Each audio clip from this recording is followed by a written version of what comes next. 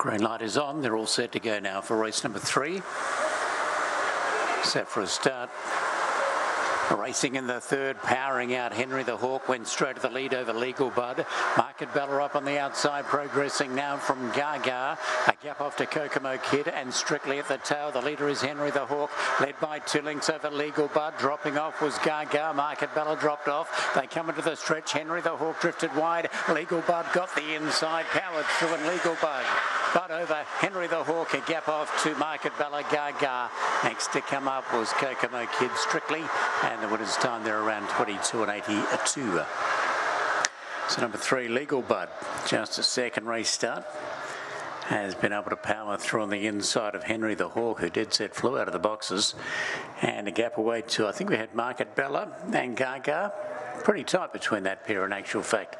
So the uh, numbers are about to go up. It is 3, 6, 7 and 8. 3, 6, 7 and 8, 22 and 81.